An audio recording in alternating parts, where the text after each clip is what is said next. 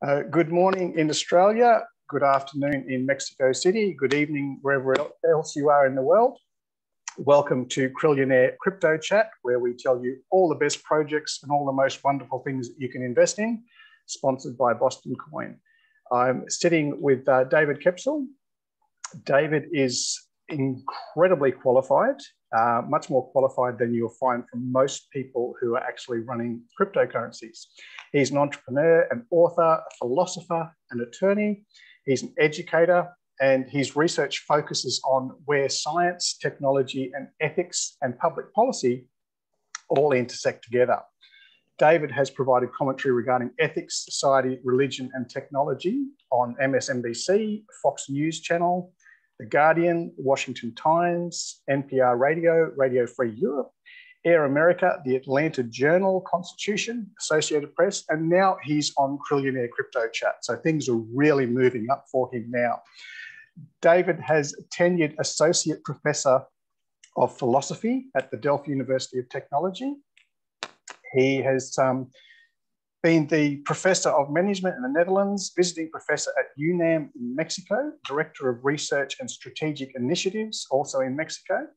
He's the co-founder and CEO of EncrypGen. That's encrypt with a G, not encryption, EncrypGen.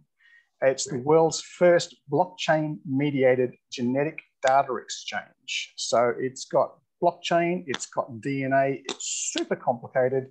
And we're going to try and put into the layman's terms so that I can understand it. It's very complicated. So, David, welcome to the show. Thank you for, for being with us. Thank you, Jeremy. Can you please tell us how someone who majored in philosophy and law actually got into DNA and genetics? Sure. Well, I married a, a scientist uh, in genomics. Uh, my, my, wife is uh, pharmacogenomics um, PhD, um, and uh, she. Uh, when I when we met at first, I, I, didn't know much about the science of genomics, uh, but I wanted to be able to engage in conversations with her about it. And I'd written about computers and philosophy for years, and I was interested in genomics as a sort of another sort of code. Uh, so I I studied up on it. I read a lot of books on it, and and she's of course a great teacher too, and um, has um, moved me in the direction of understanding how uh, genomics and our identities and our and our ability to control the data um, interact. And and because of my interest in ethics, I um, I decided okay maybe I can get something some some more uh, books out of this. And and I wrote a book, and I, I got a visiting um, appointment at the Yale Interdisciplinary um, Bioethics Center um, and wrote a book while there uh, called Who Owns You? And that book came out in 2009. It was about a common practice at the time, which was patenting genes. Um, and then uh, uh, uh, there actually just a couple months after my book came out, there was a big lawsuit.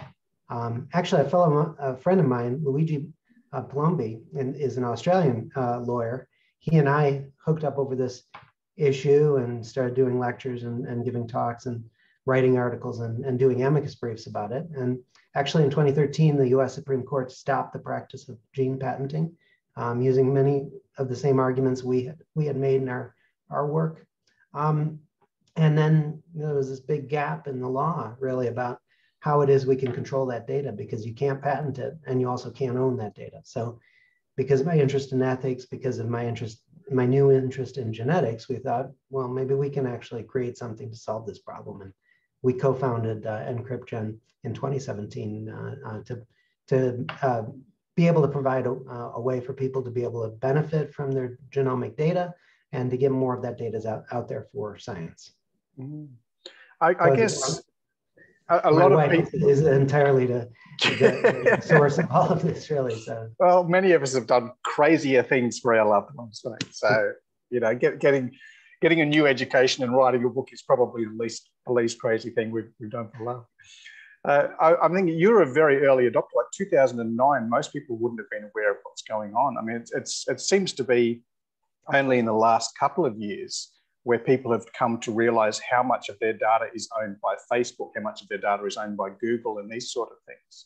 So, how, how did you become aware of this, I guess, this data mining of our genes, like way back then? So, so, at the time, you know, these big genetic testing companies were still very nascent, and um, it was a it was still a very growing business without many customers. It was a niche market, um, and it was this gap, really. You know, the when you cannot patent data, there's no other way to own it, um, and there's no other way really to control it. Data, you know, the, a famous um, a famous uh, person once said about data, data wants to be free.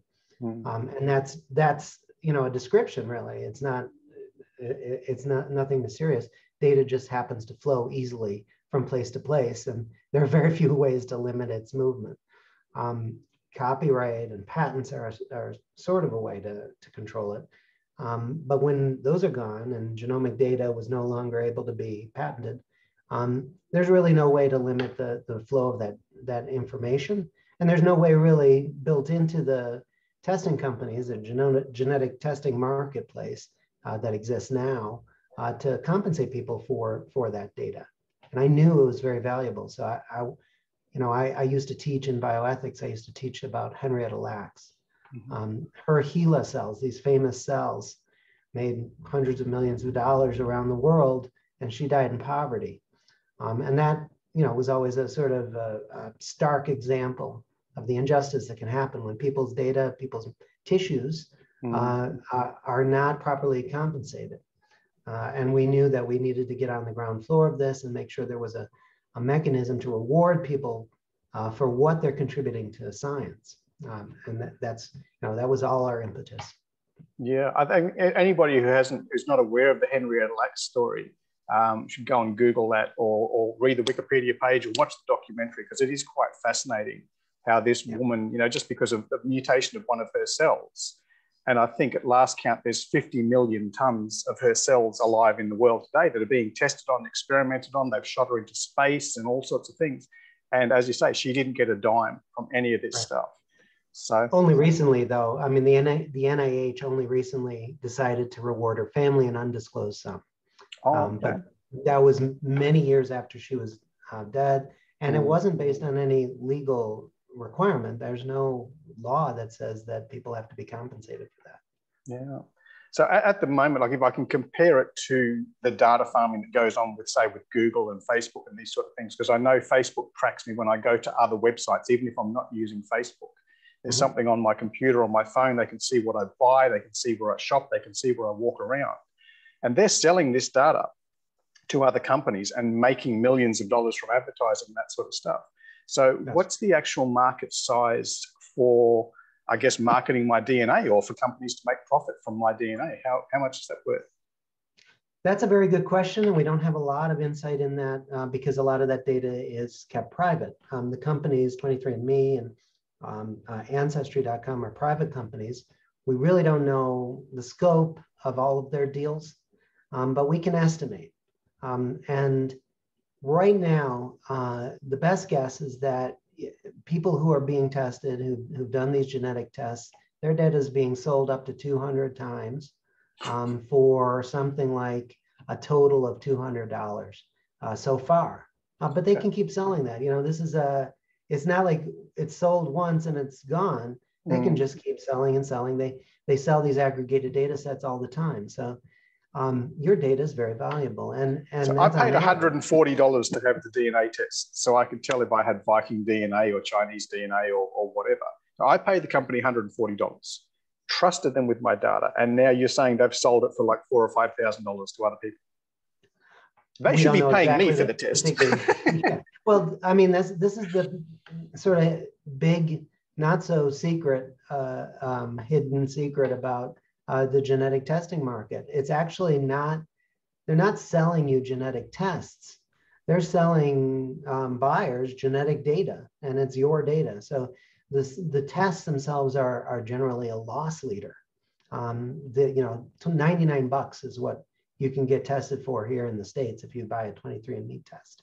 Yep. Uh, and, you know, it, it costs more than that to do the test because, you know, this is a, um, a logistically uh, complicated thing to do. Um, mm. And there's a lot of uh, you know specialized um, knowledge involved. So it's a loss leader because they know they're going to, on the other end, they're going to make a lot of money selling the data. I mean, a couple years ago, GSK, GlaxoSmithKline, um, invested 300 million into uh, 23andMe for some exclusive access to data.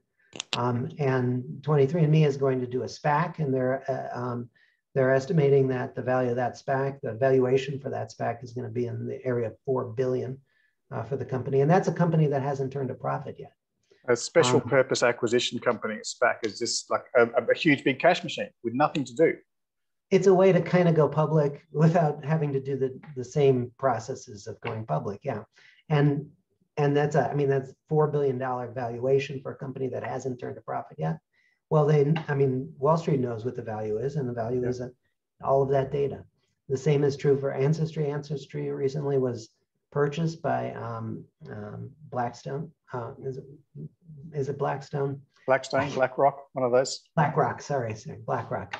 Um, and, and BlackRock bought it for, for 4.7 billion Ancestry. And Ancestry has 20 billion, uh, 20 million customers who, who, so that's, if you do the math and try to, mm. you know, see how much 20 million, you know, um, fits into 4.7 billion, you see the value of that data is, is significant.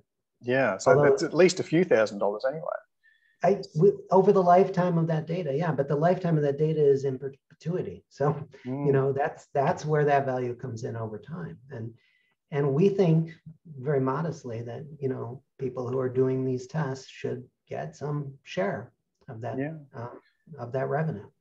And mo- most people do the DNA test just for fun, like just for an inquiry to mm. see, you know, do I have like Spanish people in my ancestry? Why is my my sister's skin darker than mine or you know whatever so are you suggesting that maybe people stop getting dna tested or they just do it and get paid for it we're saying do it and get paid, paid for it so you know as i said our co-founder is a scientist and the value for that data in science is tremendous mm. uh, we expect within the next decade that your genetic data is going to be a regular part of your medical care. Um, and a lot of people are expecting that too. So that's part of the valuation of this data over time as well. Um, but you know, in order to do that, in order for that data to be used in that way, we have to do a lot more science right now. Um, so we, we want people to get tested. We want their de-identified data to be used in science. We want those prices to be free market prices and not monopolistic. Uh, and we want people to get some share of the revenue from that data, as well as downstream the, the medical value uh, of using that data for their care. So say in, in my example, I took a DNA test like a couple of years ago and a few members of my family did. And my mum in particular has tracked down cousins and, and, you know, different members of the family who they haven't seen, weren't even aware of because, you know, one or two generations sort of split off. Um, so that was kind of a bit of fun and it was a social activity. Um, but say in my case, like my DNA has been sent to, I think, uh, 23andMe. Um, mm-hmm. so how am I able to make a profit on that if I've already given it away? Right. So there's two things you can do, and this is I've used 23andMe. Our whole family did uh, as well. When you um, sign up for it, and when you fill in the data online, you don't have to opt in to have that data used for science. Uh, 80% of people do. And what that wording suggests is it's just going to, you know, altruistic science. for science. But it, I mean, they're selling most of it. So um, you don't have to agree to that. Um, you can just take the data. Uh, you can download the, the raw data file from, from their site. Uh, they give you that option. It's hard to find. Then we have a video on our YouTube channel that shows you how to do it. Um, and then you can upload it to our platform and when we start to have the kind of volume we need uh, for scientists, um, you'll be able to sell that data and get the rewards, 90% of which will come to you. Okay, so I've, I've kind of accidentally opted in. Can I now opt out or not? Yeah, you can opt out at any okay. time. All of these companies allow you at any time. They have to, hmm. um, you know, because of GDPR in Europe, uh, because of the privacy laws in New York and California they have to allow you to opt out. Um, so you can opt out at any time. You can still take that data and download it.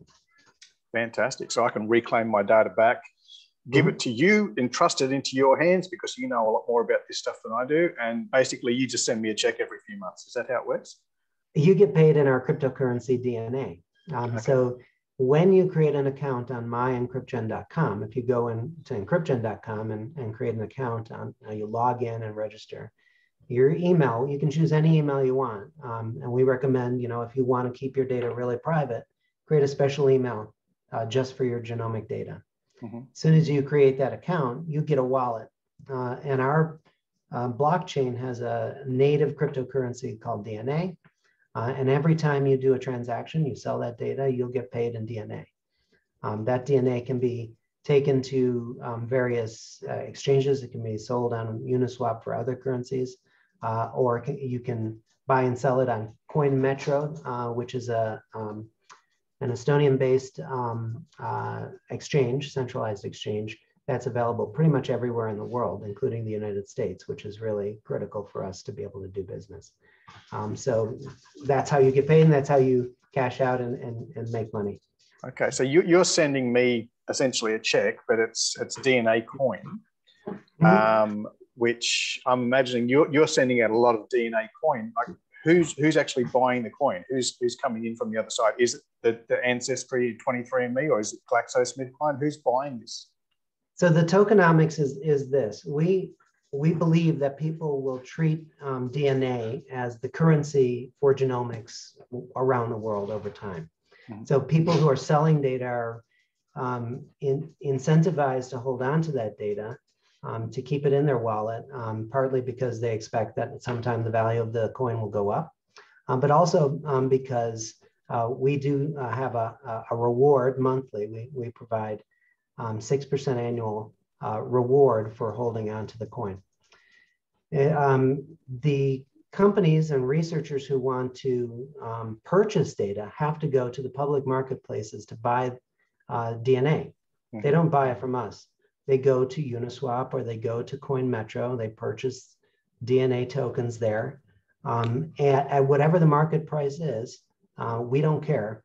Uh, the price of your uh, genomic data is listed in US dollars, and whatever the exchange rate is at the time um, for DNA tokens is what they have to spend in order to buy your data. So our, and there's a limited number of the tokens out there. So it should be a deflationary market as the volume of data starts to move. Um, we, we, we think people will value um, that marketplace and its currency more over time. Right. Obviously, so there's sorry. It's a it's it's meant to be a true utility token. Mm-hmm. It creates a currency for a for a unique niche marketplace, and we think that marketplace will expand to cover other sorts of medical uh, services too. So we've partnered with companies that do um, medical blockchains and, and want to incorporate genomics into that over time. Um, and that's so we think that's that's a dynamic that's going to drive uh, that marketplace. Okay. So if, if someone wants to take a little piece of my DNA, like the, the hologram, and experiment on it, do their magical science stuff, then they pay you for that data. You pay me, which is great. I'm just wondering, because obviously there's there's thousands and thousands of different cryptocurrencies out there, and some are deflationary like Bitcoin, some are inflationary like Doge or, or Ethereum. Mm-hmm. Why did you go to all the trouble of making your own coin?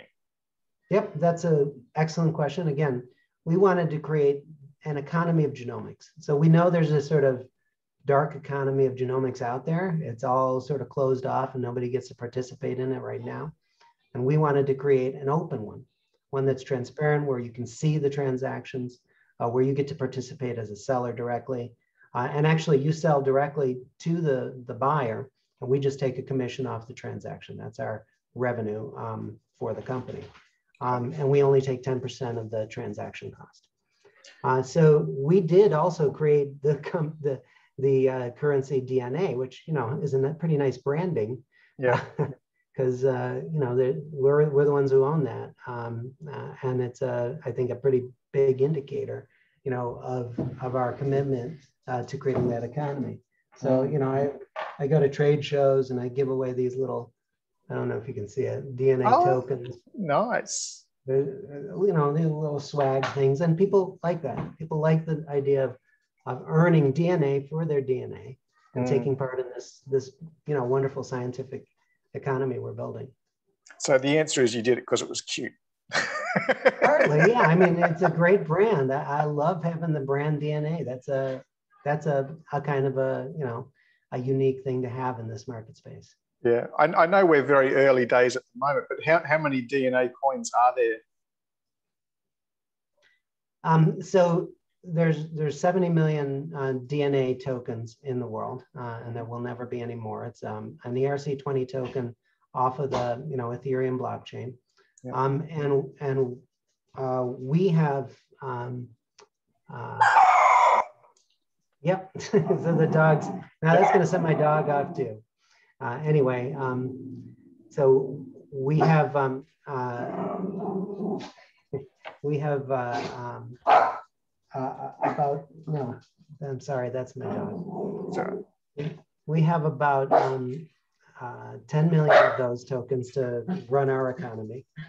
Um, and um, we just, uh, you know, the rest of them are out there in the wild uh, you know, out there for purchase or buying, uh, for conducting the uh, business of our gene chain, enabling and enabling this commerce. The joys of working from home, mate. yeah. I've, I've, got a little little bowl of kibble here that I keep on my desk.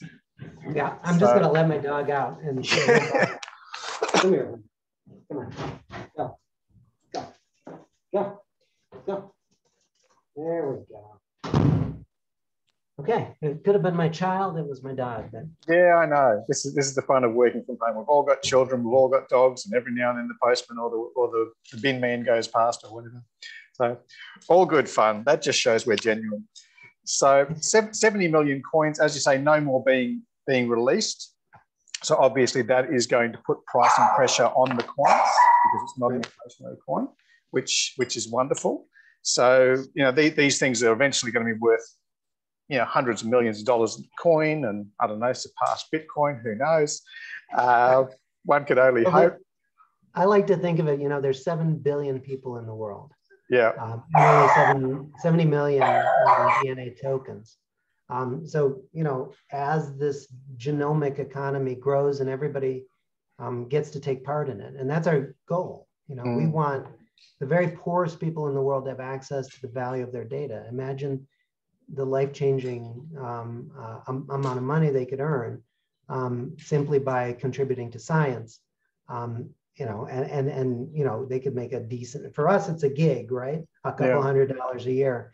Uh, but for the very poorest people in the world whose data is often very highly valued, mm. um, that would be life-changing money. So, so that 7 billion people should all have access to the value of their DNA.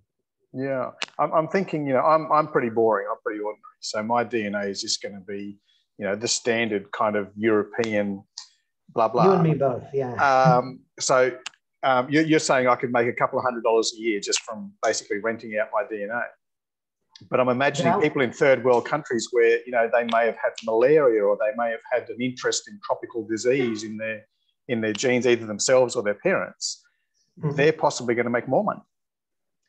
They could well, and and I mean, even though two hundred dollars is a lot to many people in the world, um, mm. uh, they could be making thousands of dollars a year based upon the value of their unique genomics. You know, the amount of genomic data in the world is tilted heavily toward folks like us, uh, yeah. uh, like you and me, um, and that's that's a shame because there's a lot of important medicine um, that could be overlooked um, because of this limited pool of genomic data we have a partner called Indigenous AI, uh, which is a Kenyan startup. Um, and they are uh, doing genomic testing uh, for research projects in Kenya. And they came to us because they want to be able to share that value mm. with people in Kenya, uh, where, where, you know, that's significant money as well. Um, so we think that's the future is, uh, you know, building upon that trapped capital. The Peruvian economist Hernando de Soto refers to as trapped capital um, that people are sitting on without access to, and we're providing access to it. The, the average person in Kenya may not be able to afford you know, $99 to get their, their DNA right. sent to 23andMe or Ancestry.com. So how, right. do, how do we get around that problem? Can, so can you give them a loan and then they pay well, it back with the DNA profits or? Maybe, but I think um, the model we're using right now in Kenya is um, there are research projects that want to test people mm-hmm. um, and, and they're going to do it. They're going to do the science. Um, but they also think that, you know, there's going to be value for that data outside that particular research project. Um, and they can resell that data and share the value uh, with the subjects in those, in those trials. So Indigenous AI is, is acting like a clinical research organization, putting together these studies, um, making sure there's more um, African um, DNA available for science, mm-hmm. targeting specific populations who need, you know, specific medical care and scientific study, um, but also making sure that money uh, comes back to them. The value of that data um, rewards them. Yeah, I mean, th- there's a lot of um, indigenous peoples, like you know, say Native Americans, and you know, some of these guys running around in the Amazon rainforest that are very, very niche, I guess, DNA. You'd probably understand it a lot better than what I would. I just think they look different. They act different. They haven't so much mixed with the, the rest of people. Um, well, here in Mexico, actually, yeah, there's there's um, many there's there's maybe a hundred um, different indigenous populations mm. Um, whose data is wanted, um, but one of the big objections over time has been the fact that that's a sort of biocolonialism uh, and that you know it, it, it echoes the HeLa cell uh, issue. Um, and you know there's a there's an interest in making sure that in the future um, these studies reward the people who are um, being subjects for those studies uh, and make them part of that. One of your first points was that you can't patent the DNA. You can't. So I'm wondering, like, if, if some nasty company buys my DNA or buys the DNA from one of these little sort of Amazonian tribes um, using the DNA coin, what's to stop them then from reselling it to other people and other people and bypassing the DNA ecosystem? So they'll need to be they'll need to create a database that would be aggregated and provide um, you know all of the metadata that makes that data valuable, and that's you know that's a big task uh, too. And they won't have the the what we have, which is the individual contact with the people who are uploading their DNA and providing that data. Selling raw DNA without, uh, you know, one one sample with even if you have a little metadata is worthless. Yeah. It's all about aggregation. It's all about getting it in some sort of, you know, coherent, scientifically valid data set. Um, so that's one thing that stands in the way. It's much, it's very unlikely they would do that. I suppose somebody could try to replicate our marketplace, and probably others will. Mm. Um, um, but they'll have to, again, they'll have to ha have people download their data, upload it to them, create a, the metadata, uh, make it searchable, create an economy for it, et cetera. So um, there's a lot in the way of that. I, I don't think that's a significant risk. Yeah, I mean, there, there, could be competitors, but you're saying they're starting years and years behind. It's like someone could invent a brand new Bitcoin with better coding today, but they're, they're 15 years behind the eight ball. So trying to catch up would be a would be a big thing. We, we're on the ground floor with it, and and we're pretty confident that our model, you know, will sustain uh, competition, even if that competition uh, becomes serious. So as you, you've been in the in the field for a long time, your partner's been in the field for a long time. Um, and you've, you've seen it changing when other people weren't even aware of what's going on. We were just looking like, oh, DNA, I've, I've got a Jewish ancestor from 500 years ago or something like that, or a Viking from a thousand years ago. But you're actually watching the market grow. How, how big do you think this marketplace is going to get? Well, Gartner uh, expects that it'll be a $24 billion marketplace, the whole genomics marketplace, um, in two years. Um, two years. Yeah. Wow. So uh, but that's you know that's all the testing and uh, other infrastructure components of genomics as well. Um, our our niche in it right now, um, we can estimate based upon what's going on this year with Ancestry and 23andMe.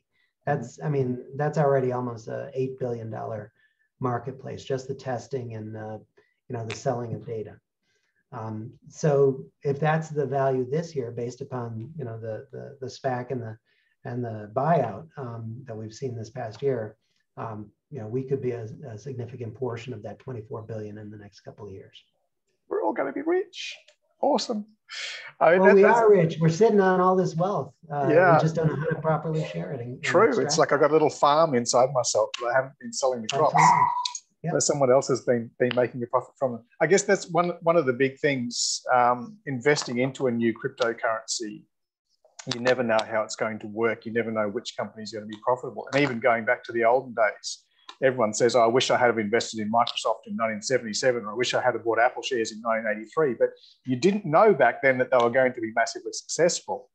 So you guys have already been doing this for a long time, and you've already got a model that can actually pay me more than my investment. So if I pay that it's $140 in Aussie dollars, $99 US dollars elsewhere in the world, um, you're saying I could already make, you know, maybe a few hundred dollars or even a thousand dollars back from that already without waiting for this, you know, without waiting for a project to take off, without waiting for my investment to actually become a unicorn. It's profitable now. It, it could be, you know, obviously we can't um, promise that it would be. Some of our oh, I got good genes. I got good genes. yeah. Everybody wants my genes have made uh, enough to buy uh, a test. Um, some of our users have made nothing so far. Yeah. Right now, we have about 1,500 people who have uploaded their data. Uh, that needs to come up to about 10,000 to be a really scientifically useful data set. Mm-hmm. So we recently did an STO, raised some cash. We're doing some marketing to try to get us up to that 10,000 user um, point. We have 7,000 wallets, but only 1,500 of them have uploaded their data.